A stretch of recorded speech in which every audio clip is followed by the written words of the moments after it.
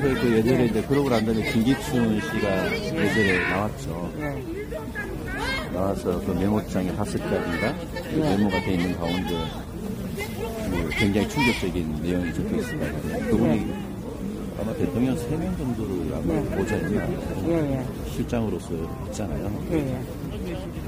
그래 봤을 때 대통령의 스피커 역할을 한 건데 네. 그분의 마인드가 우리 국민 정서에 굉장히 큰 영향을 미치고 있습니다. 아, 전 국민을 배고프게 해야 된다. 아. 결론은 라면 먹게 해야 되고 예. 바쁘게 해야 된다. 예. 제가 그 인물 중 한 사람이 국민이었으니까 아, 깊이 관여할 수가 없었죠. 아. 관심한 청이 예, 예. 그러니까 이제 아홉 시 뉴스에 나오는 거 슬쩍슬쩍 이렇게 듣는 정도 예. 그래서 그 신문을 보는 정도였고 예. 근데 그걸 판단할 수 있는 능력이 안 되죠. 예, 예. 그래서 결국, 결국은 투표지 않습니까? 예, 예. 투표로 모든 대통령님들이 이제 당선됐는데 예, 예.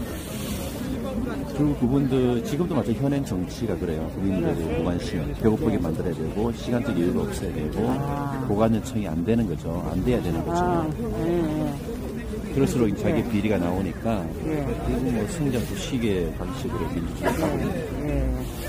예. 지금도 그 모습을 보니까 아, 하나하나 조각조각 모자이크를 해보면은 지금 정치 선언이 이렇게 오는 이유들을 이제 알게 되더라고요. 아. 그래서 저한 사람을 좀 알고 껴있어야겠다. 국민이 껴있지 않으면은 힘들겠구나. 근데 민주당도 좀 지금 봤을 때 충분히 할 수 있는 거잘 하고 있는 게 몇 가지 있어요. 예.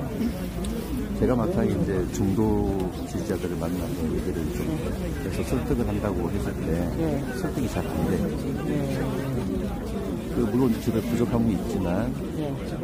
결국은 어, 이렇게 껴있는 민주 시민들이 쉽게 전달하고 요약해서 어떤 그 팩트가 전- 보도가 되면 그 보도를 조금 더 요약 정리해서 예, 예. 잘 전달할 수 있겠다.